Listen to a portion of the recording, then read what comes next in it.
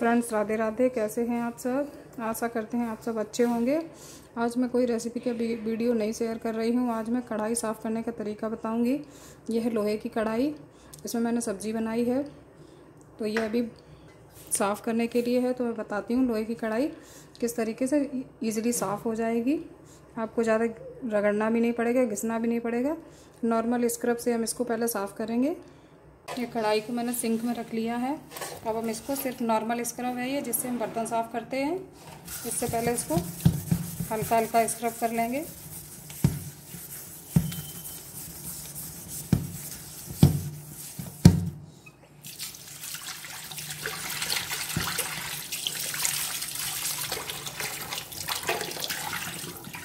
आप देख पा रहे होंगे, ये कढ़ाई ऐसी हो गई है। अभी भी गंदी है, इस साइड में भी गंदी है। अब हम इसमें डालेंगे पीताम्बरी पाउडर दो चम्मच। ये मैंने डाला इसमें पीताम्बरी पाउडर दो चम्मच। अब इसको इस स्क्रब की सहायता से चारों तरफ़ लगाएँगे।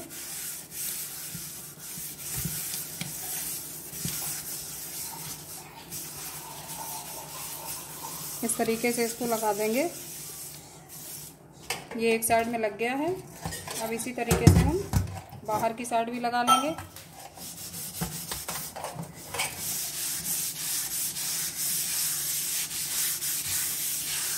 आप इसको पीताम्बरी पाउडर से भी साफ़ करते, कर सकते हैं और साइट्रिक एसिड आता है, उसका एक पाउच आता है।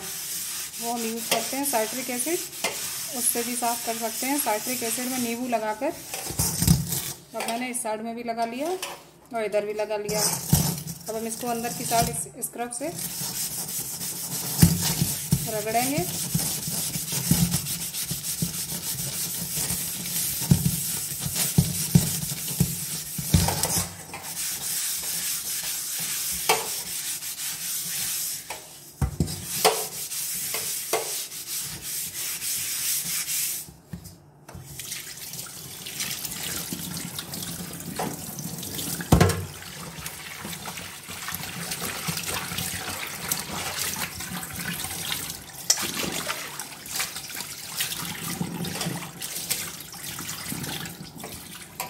आप देख पा रहे होंगे, कढ़ाई कितनी अच्छे से साफ़ हो गई है पीताम्बरी पाउडर से।